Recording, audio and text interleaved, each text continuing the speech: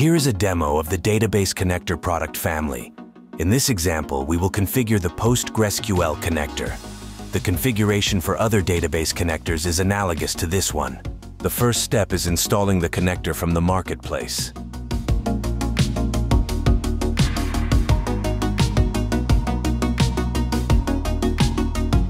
After installing the listing from the marketplace, the connector guides you through reconfiguring your source database, opening network access to Snowflake, and running the agent. Let's configure the PostgreSQL instance by changing the log level to logical and creating the publication.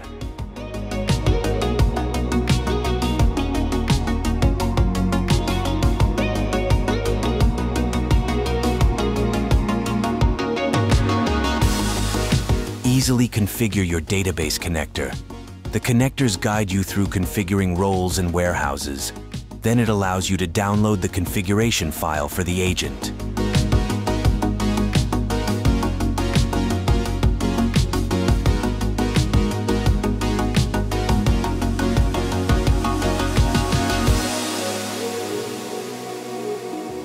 Using Docker image, you can run the agent in a straightforward way.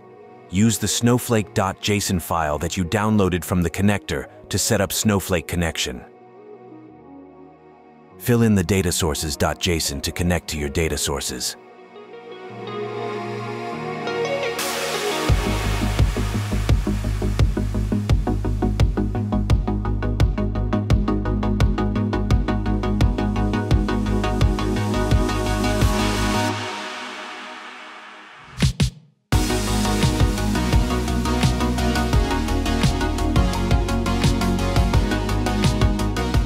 Start up the agent using Docker Compose.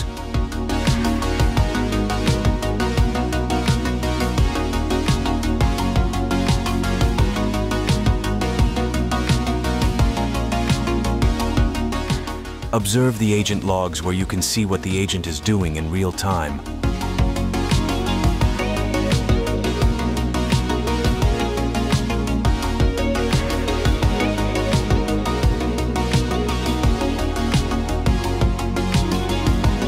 First step is to wait for an agent to show up.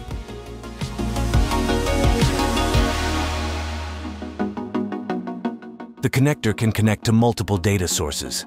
Let's define the first data source.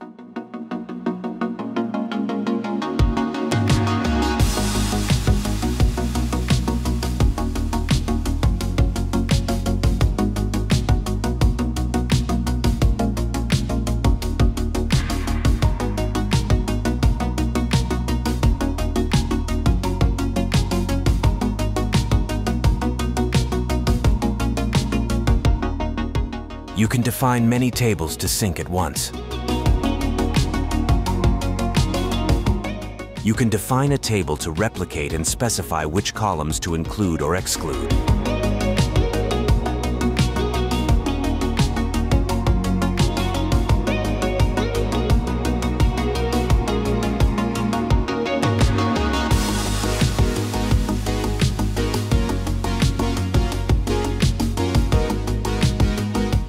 You can easily query the data that was ingested by the connector.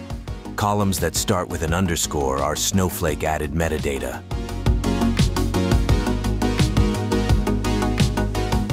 You can observe many items of the connector, such as the replication state of each table.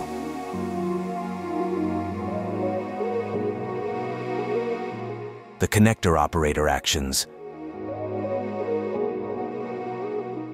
and native app agent communication.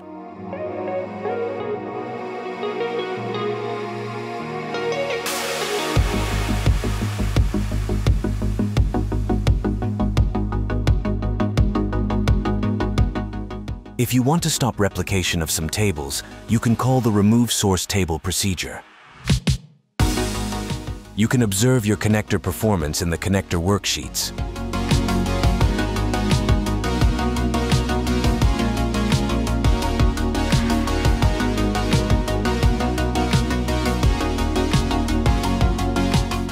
Here are the performance statistics by ingestion run.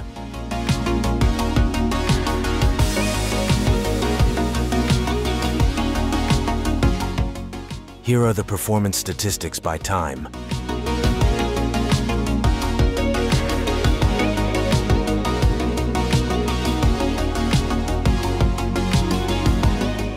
To reduce costs, you can periodically suspend the connector warehouses. Your data won't be ingested during that time.